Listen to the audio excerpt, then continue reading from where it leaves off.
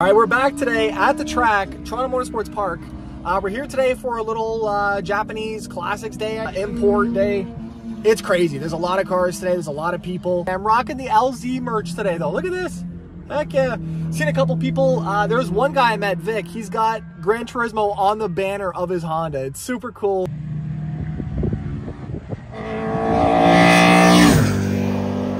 Right, and I mean the best part about today though is that just the vibes. Everybody's just super chill. Everyone's super nice.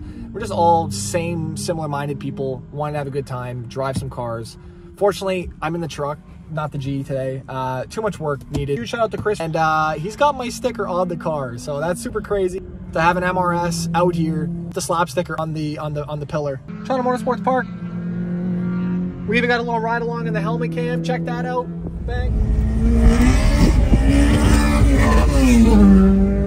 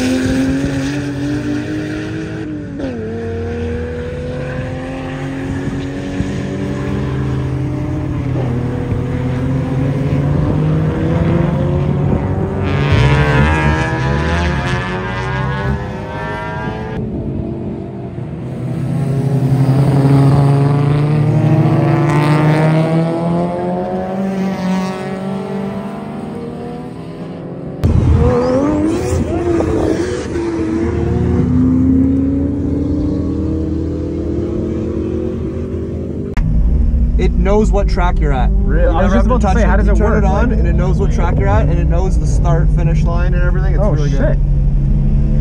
That's impressive.